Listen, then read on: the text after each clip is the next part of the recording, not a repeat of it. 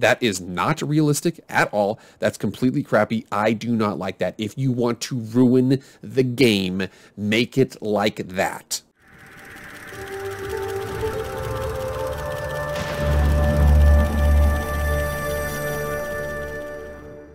What is up, everybody? It is Jake back with the MF Film Room. Thank you so much for being here.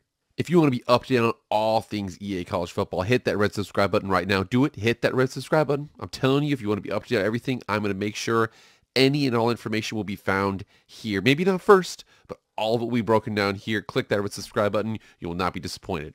Also, subscribe to me on X slash Twitter. That fame is growing. And if you're interested in college football content, my other channel, Master Football with Jake Posey, is in the description. But enough about that. Let's talk about some EA college football content. Let's get going.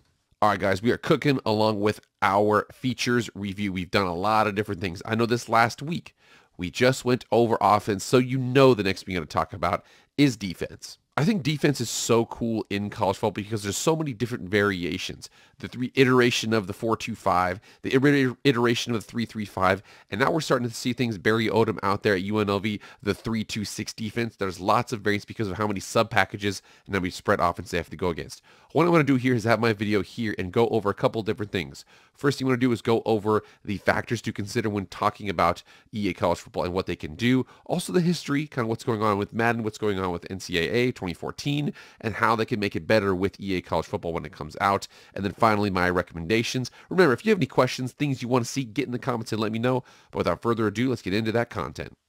So I want to set the precedent with something really quickly here. So NFL is a little bit different. Obviously with NFL, they play later into the winter. Uh, the defenses are better. The defensive backs in particular are better. So defense is a little bit easier. It's still not easy. Again, the rule changes are still orchestrated to put it more easily for the offense to put the ball in the end zone just because that sells tickets and blah, blah, blah, blah. I will let you know that uh, college, they don't give a damn about their defenses. Uh, they basically just say, just figure it out. There's been very few rules that have actually been implemented to help defenses out recently. So I want to make sure I set that precedent that even if we have a really, really good defense, again, Georgia's defense was incredible. That was unbelievable. For God's sakes, Jermaine Johnson was a first round pick from Florida State. He transferred away from Georgia because he couldn't get on the field. That's how loaded they were. That being said, I want to make sure we can talk about a couple of adjustments here to make the game more like it is in real life, what my recommendations are, what the history of what the game is so far, and then everything like that. So let's get into my PowerPoint presentation on defense. So like I said, in defense, we're going to go over factors to consider, history, and recommendations. I wanted to do factors to consider first. I usually do history first. I want to do factors to consider to make sure we can talk about a couple different things because I don't want to go over the history of when hit stick was introduced into Madden or NCAA or something like that. That's just, that's not relevant. I actually want to talk about the certain situations right now that we have to consider for the 2022 EA college football and NCAA college football on the field to make sure they both look the same with each other.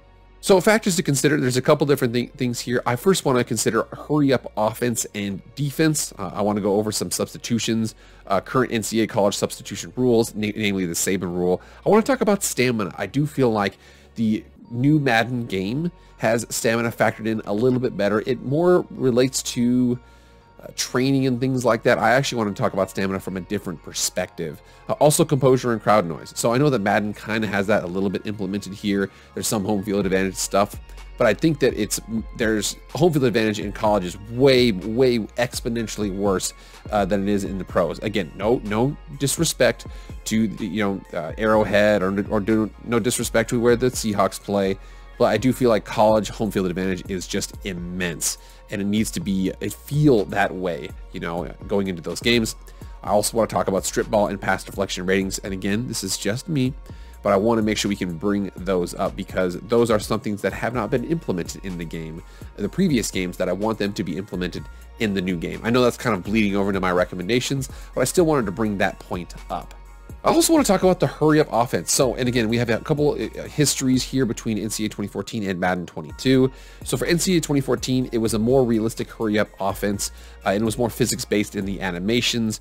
Uh, from Madden's perspective, has better pass defense animations. I do like the fact that, you know, A is play the man, X is swat the ball, Y is pick the ball. I actually do like that option in the same way that you have the, the you know, the conservative catch, the run after catch, and the spectacular catch. I actually think those are pretty cool.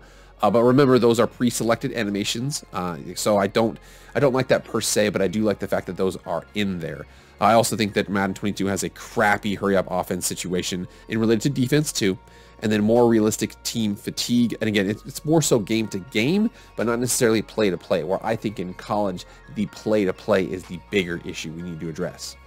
So I've got a couple clips here, and again, this is from Sheck channel, and he's talking about playing a hurry-up offense. So I want to go ahead and play through this really quickly here. I, am going to react to this clip just to make sure we can set the precedent. He's going to call a, a little post over here. He's going to catch it. You're going to see the hurry-up animation. Now, I really dislike it. So again, we're going to watch this guy go. He's going to see this little post right here, and then he's going to catch it and down. Now, this is what happens. Boom. Now up. Nine seconds were taken off the clock, and now the defense got a call tick. Oh crap! I don't know. And they got the playoff. That is not realistic at all. That's completely crappy. I do not like that. If you want to ruin the game, make it like that.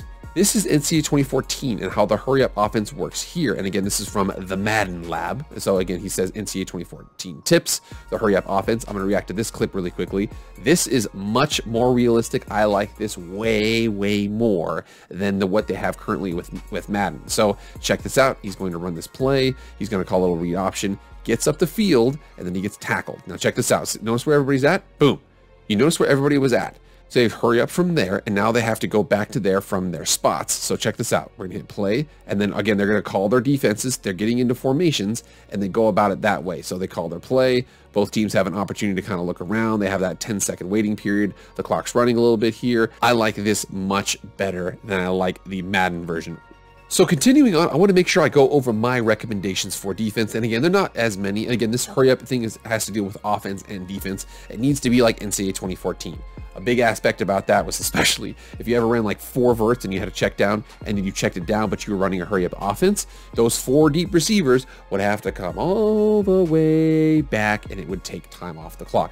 I think it should be more realistic like that. I know that Madden, they were trying to speed things up. They were trying to make it quicker, just the games end quicker or something like that. But again, me, I'm a realistic guy. I want it to be realistic. I also want to give the defense an opportunity to be able to snap or call their defense. It's ridiculous the fact that like it work, it moves so fast. It moves unrealistically fast in the Madden hurry up because they're trying to just hurry the game up. They don't care about the defense. The defense still has to have the ability to make play calls.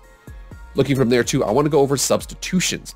So for offense and defense, need to have full playbook and fatigue substitutions, need to implement the Saban rule. So what is the Saban rule? So here we are on NFL.com, and this is May March 1st, 2014. Nick Saban, safety is the number one reason for defensive substitution rule. So we're going to go ahead and check that out down here really quickly here. So it says, the rule would prohibit an offense from snapping the ball before 10 seconds has elapsed on the play clock, a proposal that uh, several coaches, including Spurrier and Auburn's Gus Malzahn, vehemently oppose. So the big aspect behind that is he says player safety, but I actually think it's a kind of a fairness situation because offense is much easier to get plays in. Again, remember, I think one of the rules is is that if the offense doesn't sub, the defense can't sub. So if the offense subs out, then the defense can sub out, and actually the ref will walk up and hold the ball for 10 seconds just to let give the defense the opportunity to sub people in and sub people out. I think that that needs to be implemented in the new game. And again, I want to make sure they also include the full playbooks. So again, before it was like if you had four wide receivers and you have five uh, formations that were four wide receivers on NCAA 2014, you could only switch back and forth between those. I do think you need to have the option of having the full playbook. Maybe give something like you have the personnel grouping where as long as it's the same personnel grouping, the defense can't sub. That's something like that that could make a, a big impact in the game. I also want to talk about stamina. So for stamina, okay, I think that Madden, the way that it works is that it works training week to week, and the more you train, the lower your guys' stamina rating is going to be. So by the time, it, again, if you've been spending, you know, training the whole season, at the end of the season, uh, your guy's going to have 80% of his stamina for the game, rather as opposed to 95 or 100. I think that's a okay idea, but I actually want them to build off it a little bit more. So I think it needs to be both in-game fatigue and between-game fatigue. So long drives should feel more detrimental to the defense, and lots of plays should feel more detrimental to the defense. So you know that the way that Oregon was working for the longest time was Oregon would get off so many plays that by the time it was the fourth quarter, your defense was just so zapped. Everybody was tired. they've been on the field for 97 plays, and they would just be putty, and the Oregon would just roll people, score 21 points in the fourth quarter, something like that. Also, long drives. I feel like if you have a 12 play drive, especially if you're like a Wisconsin or an Iowa or something like, or Michigan, a team that really, really pounds the rock, then you just wear the defense out. And by the end of the drive, they're like, dude, just just take the end zone. We're done. I remember listening to a couple players for Alabama basically say that in the fourth quarter, they can feel teams just wilt on their sheer size and athleticism. I think that needs to happen more in this game too. I also need think that feeding into that, you need to be in a situation or at least have that to be to where you feel like you need to use timeouts before the final two minutes. And again, I've played Madden, I've played NCAA. The games are quick enough that you don't really feel like you need to do that, but I feel like that would be more beneficial if you, it would add a dynamic to the game, especially from the computer's perspective, because the computer always has three timeouts at the end of the game, and it's, they always have an extra possession they get to stop you on. It's just ridiculous. But you need to feel like you use timeouts more because freshness and stamina is a serious thing in college, even if the rosters are 85 people. Also, a big aspect here, and again, this feeds into the defense a lot more. The other ones were kind of mixed back and forth. This one is strictly defense. So composure and crowd noise. Again, these aren't professional QBs, have QBs get shook more easily from tough crowds. I'm telling you, you've seen it happen plenty of times before where a really, really hot team goes into a really, really hostile situation and it's a late night or something like that and the crowd is rocking or it's an early week game and the crowd is rocking and you just don't know what's going to happen. It's one of those wacky games. Thursday night games, especially in college, are kind of wacky. Friday too, you need to have it to where quarterback shows up and the quarterback's like, I want no part of this crowd because it happens in college football plenty. You also need to make sure you have audibles affected by crowd noise. Okay, make sure we're clear about this. If the offense audible something the crowd's going crazy, the audible might not come through. I like what Madden does where if you uh, make four audibles in a play, oh, check here, check here, check here, check here, one of the offensive linemen will jump. I actually like that addition a lot. I also think, though, that the fact on defense, you got to remember here, if you are playing in Death Valley for LSU and somebody gives a check to the defense and the corner is in press man, he's not looking back to see what the defensive call is. I think that the defense needs to be harder to audible when the crowd noise is revving up too. I think that would be absolutely, again, that's realistic. That's what we want. We want the game to be more realistic. I also think the two last two things here, strip ball, it doesn't make any sense that's not a rating. And again, it can still be, you know, uh, kind of nerfed it down a little bit, but still have that. If somebody's horrible at stripping the ball, they miss the tackle. If somebody's good at stripping the ball, they're able to complete the tackle while stripping the ball. Something like that. Some different, you know, you know, animation. They don't need to have, you know, 15 forced fumbles in a season, something like that. But they need to have that be a better rating for the game. Also, the ability to deflect passes, the ability to get into range and do that. I know they've done some of that with awareness and with uh, you know with man coverage and zone coverage and play recognition but i think that its own specific rating. If you're going for the tip some people are good at tipping some people are bad. Some people are good at picking off the pass some people are bad. I think it kind of needs to be both ways all right, guys, what are your recommendations? Get in the comments right now. Let me know what you guys want to see. Let me know what you like about my stuff. Again, I'm a really big fan of the stamina. I think that that feeds a lot more into the college game. The crowd noise too, quarterbacks getting shook, composure. I think that really, really feeds into that a lot. And also follow me on Facebook, Instagram, and Twitter. Links are in the description. All right, guys, thank you so much for sticking all the way through here. Remember, again, get on Facebook, Instagram, and Twitter. Follow me, like this video, subscribe, do all that stuff. I'd really appreciate it. I'll see you guys tomorrow. I am out.